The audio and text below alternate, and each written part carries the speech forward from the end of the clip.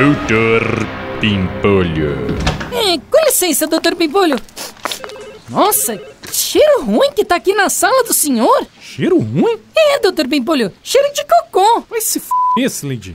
Que eu tô com o nariz entupido e não tô sentindo nada, meu. É, será que o senhor pisou num cocô de cachorro? Não sei, meu. Deixa eu ver. Ih, doutor Pimpolho, pisou mesmo. Olha a sola do sapato do senhor. Vai se f***, meu. Deve ter sido lá em casa. Liga lá e manda demitir o jardineiro que não recolheu o cocô do Átila. E depois liga no RH da empresa e manda demitir o Freitas do TI. O Freitas? Mas por que, doutor Pimpolho? Por quê? O cara tava aqui comigo na sala antes de você entrar e não me falou nada, meu. É, tá bom. Aliás, chama ele aqui na minha sala que eu quero demitir ele pessoalmente. E leva meu sapato pra Cida, a faxineira, dar uma limpadinha, beleza? É, pra já, doutor Pimpolho.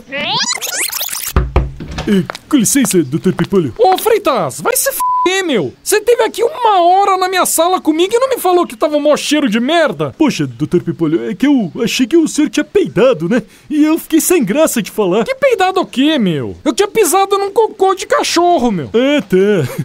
Poxa, Dr. Pipolho, quer que eu mande o seu sapato pra limpar? Não, Freitas, já mandei limpar.